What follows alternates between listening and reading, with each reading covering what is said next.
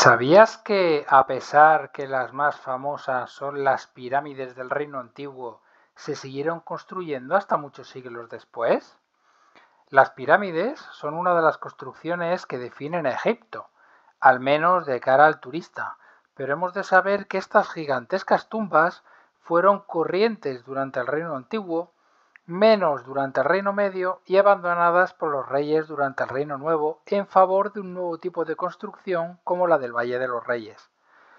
La pirámide escalonada de Sácara es el primer ejemplo, en la dinastía III, y a partir de ahí los reyes construyeron pirámides en zonas como Sácara, Dasur o Abusir. En el Reino Medio tenemos ejemplos como la pirámide negra en Dasur o en el Lish. Hasta tan tarde como la dinastía 25 encontramos las, las, famosas pirámides cusitas con más de 200 ejemplos. Esta dinastía, de origen nubio y con sede en Napata o Meroe, fue coetánea de las dinastías 22 a 24, dominando toda Nubia y el sur de Egipto, hasta que perdieron el control del mismo.